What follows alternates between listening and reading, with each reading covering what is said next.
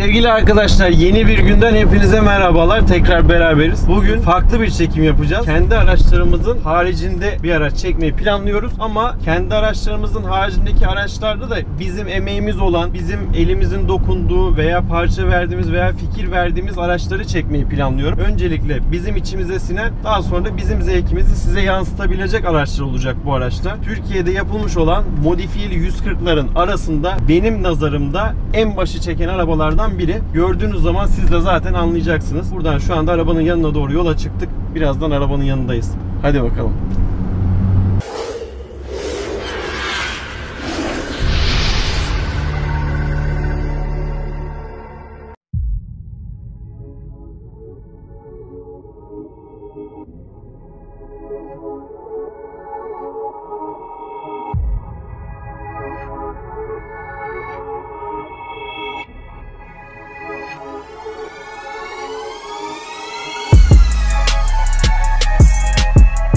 Normalde bu arabaya siyah takımla binmek lazımdı ama biraz hızlı olduğundan dolayı böyle gömlekle geldik artık yapacak bir şey yok Şakir.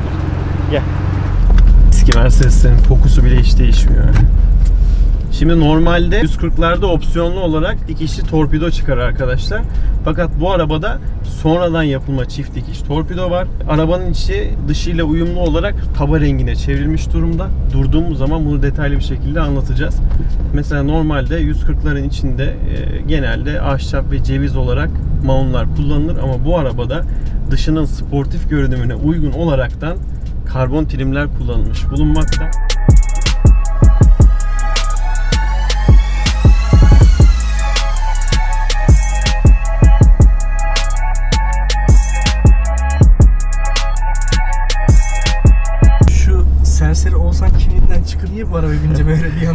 Büründün? Şakir'im hadi o kimliği bu arabada yaşamamız çok zor. Oğlum baksana biner binmez zaten dik oturuyorsun. Gömlek arıyor insan veya arkada bir ceket arıyor. Değil mi? Vallahi ona göre aslında bir kombinle gelebilirdik ya değil Ama mi? araba abi sportif şu anda görünümü. Tabii hem Ya ağır şu- hem sportif. Tabii abi karbon detayları olsun falan.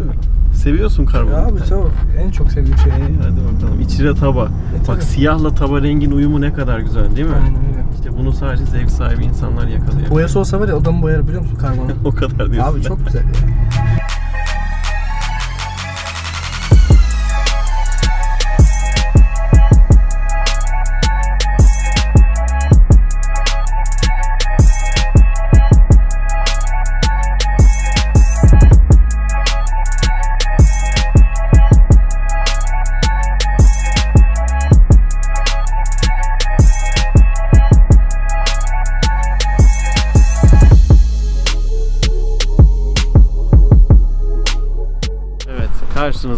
Türkiye'nin en iddialı W140 kasa Mercedes'i.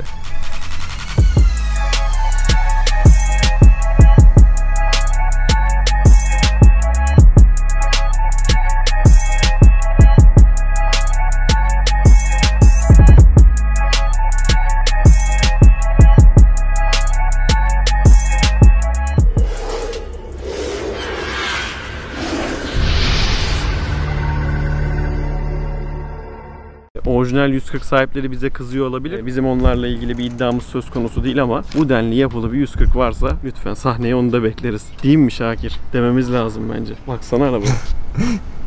Şimdi arabaya 3-4 saniye baktıktan sonra bu ne be diye bir tepki veresi geliyor insanın. Gerçekten çok farklı bir kafada, çok farklı bir e, segmentte yapılmış. Şakir'im başlamadan önce 140'larla ilgili biraz bilgi vermek istiyorum. Mercedes W140 dünyada lüks araç segmentine ciddi anlamda yön vermiş bir arabadır. Kaç model olursa olsun bulunduğu ortamda ciddiyetini ve ağırlığı temsil etmeyi başarmıştır arkadaşlar. Ayrıyeten 90'lı yıllara damgasını vurmuş bu araç Mercedes-Benz'in efsane tasarımcısı Bruno Sacco'nun cinli anlamda ustalık eseri diyebiliriz. Bu denli günümüzde bile kabul gören bu tasarım 1986 yılında W124'ün geliştirilmesiyle ortaya çıkan bir tasarım aslında.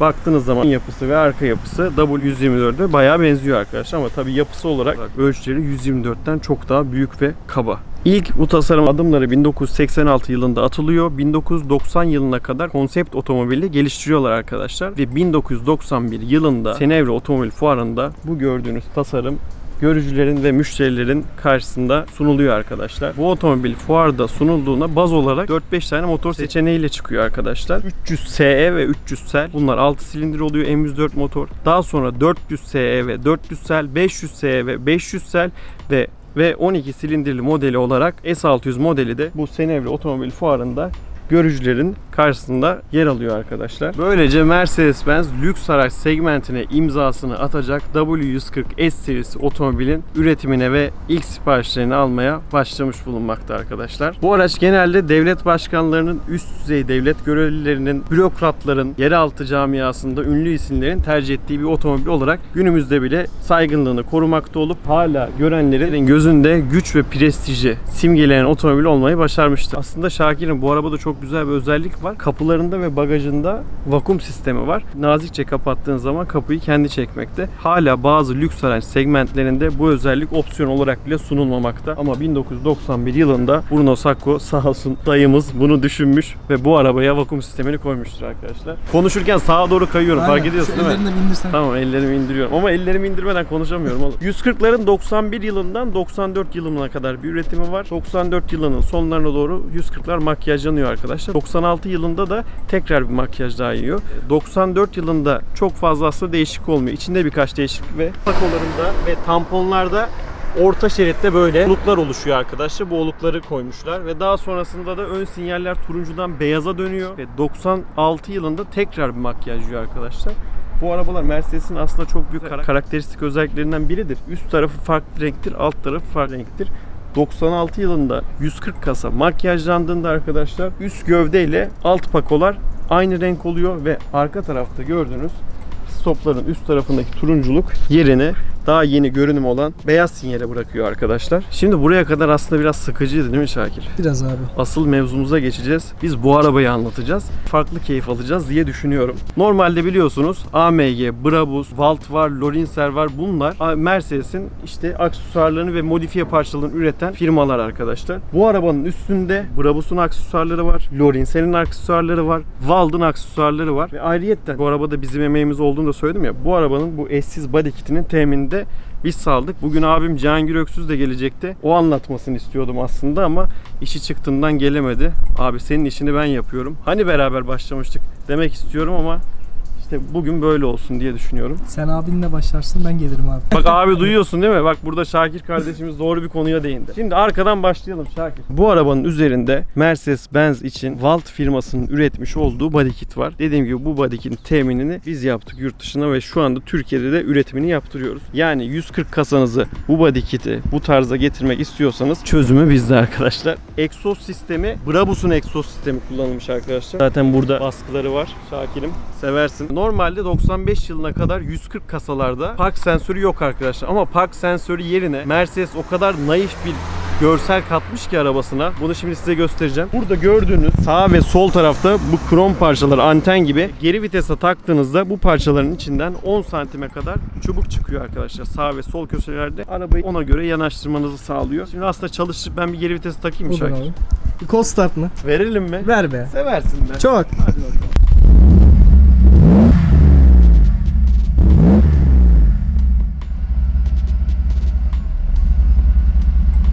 Çok karizma değil mi? Beğenmedin mi? Bir beğenmeyeyim abi. Ne bileyim oğlum soruyorum. Abi bir şey diyeyim mi? He. Onlar geri vitesi de, sakınca değil de abi. Normalde araba çalıştığı zaman öyle dursa var ya yolunda gelirken çok tatlı oluyor. Aslında keyifli durur. Güzel olabilir dediğin gibi. Bu da düşünülebilir. Stop et de. Heh, tamam. S500 abi. Doğru diyorsun. Fazla yakmasın ha. Hadi bakalım.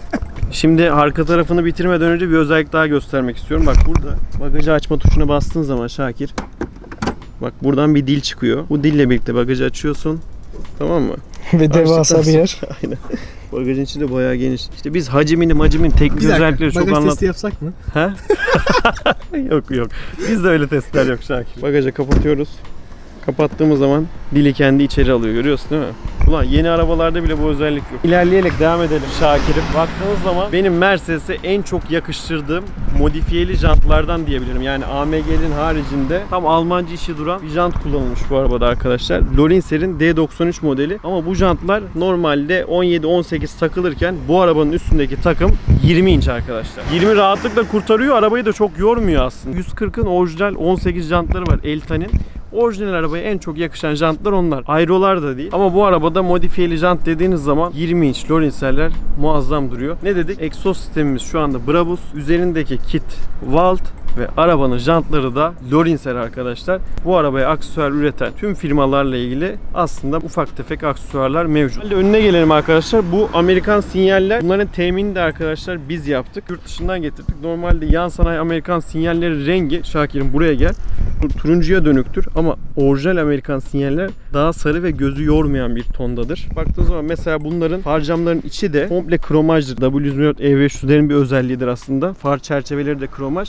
140'ların bunlar opsiyon değil orijinal olarak çıkıyor.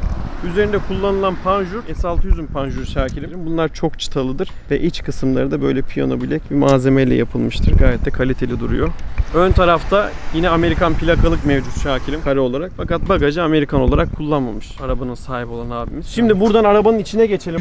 140'ların kokpitinin haricinde çok daha farklı bir tasarım kullanılmış içinde. Yani arabanın sahibi olan Recep abimiz kendi zevkini arabanın içine yansıtmaya çalışmış. Kapıdan başlayalım Şakir. 140'larda buralarda ceviz ve zebrano dedikleri ağaçlardan kullanılıyor arkadaşlar ama bu arabada sportif görünüme uygun karbon trimler kullanılmış. Yani bu parçalar karbona çevrilmiş. Direksiyonu da göğsüne ve koltuklarına uygun şekilde taba rengi kaplanmış arkadaşlar. E, Videonun başında da söylediğimiz gibi normalde çift dikiş torpido 140'larda opsiyondur.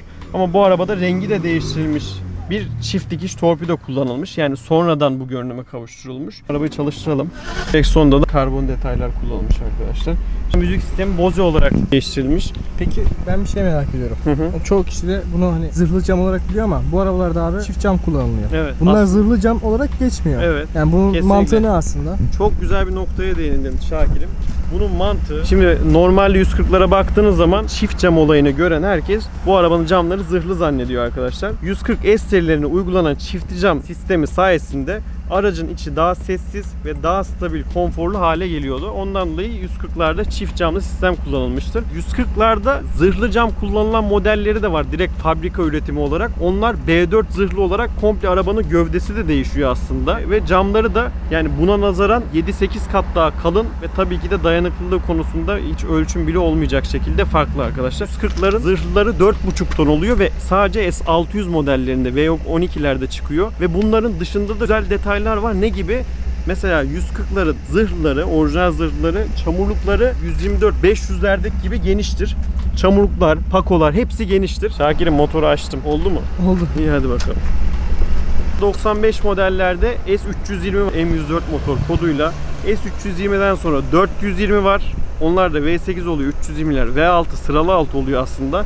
420'den sonra S500 var. S500'den sonra da S600 var. Bu araba en kabul gören, en keyiflisi S500 motoruna sahip. Zaten açar açmaz anlayacaksınız 8 silindir olduğunu. Motorda uzun süredir kullanılmamasına rağmen e, temiz bir vaziyette duruyor. Şöyle bir konuya değinelim. Normal 140 alıp bu hale çevirmek çok külfetli bir iş. Çünkü bu arabada arabanın sahibi olan Recep abimiz arabanın kaportası, boyası hepsini baştan yaptırmış. Motoru, şanzımanı, bunların revizesi, iç döşemesi, trimleri, amortisör sistemi, aydınlatma sistemi Bunlarla ilgili ciddi bir restorasyon sürecine sokmuş ve bu restorasyon süreci de ortalama 2 seneyi falan bulmuş.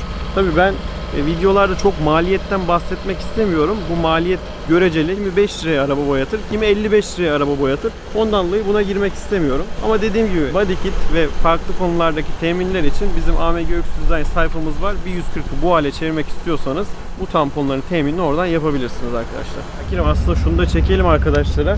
Bu arabaların long ve short olduğunu, uzun ve kısa olduğunu aslında arka kapıdan anlıyoruz kısaların arka kapıları çok daha farklı ve arabanın yapısı bile bozuluyor. Araba bayağı bir daralıyor. Bu araba long versiyonu. Zaten içine oturduğumuzda da anlayacaksın. Şurayı açalım. Diz mesafesi falan bayağı rahat. Yani devlet başkanlarının, ileri kademe insanların, bürokratların kullanmasını ve rahat etmesinin aslında sebebi bu arabanın konforu arkadaşlar. Şakir bu videonun arkasına Godfather müziğini falan ekleyemeyiz değil mi? Telif mi yeriz? telif yeriz. Hiç Oğlum, hiç. Tam eklemelik tam araba onluk değil mi araba aslında? değil. Hiç Ha? o topa girmeyelim. İyi girmeyelim doğru diyorsun. Arkadaşlar dediğimiz gibi kendi araçlarımız haricinde elimizin değdiği araçlarla serimize devam etmiş bulunmaktayız. Bu araçla ilgili oldukça detaya girmek istedik sizle ama yani tabii üstün kör oluyor. Çünkü videolar 10 dakikalık olduğundan mütevelli elimizden geldiğince bizim de dikkatimizi çeken, sizin de dikkatinizi çekebilecek yerleri kesip videoya koymaya çalışıyoruz. Bundan sonraki seride Cosworth'ümüz var. E, tabii kabriyomuz var ve üstünü açmadığımız o hayal arabamız var. Onlarla devam edeceğiz inşallah.